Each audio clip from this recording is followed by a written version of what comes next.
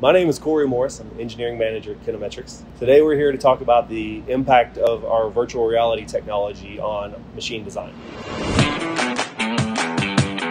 We use uh, virtual reality technology as part of the initial design validation.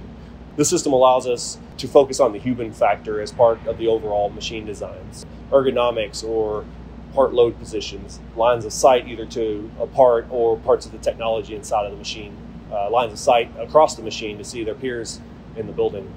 Is composed of a fully immersive headset, so covers the user's entire field of vision, interactive, and tracks the motion of the user. There are also two hand controllers that, that allow you to interact with the designs, even pick up pieces or virtually touch pieces of the machine. I believe this is a tool that we've been able to leverage to build a higher quality product for our customers, and it, it comes through in the things that we build.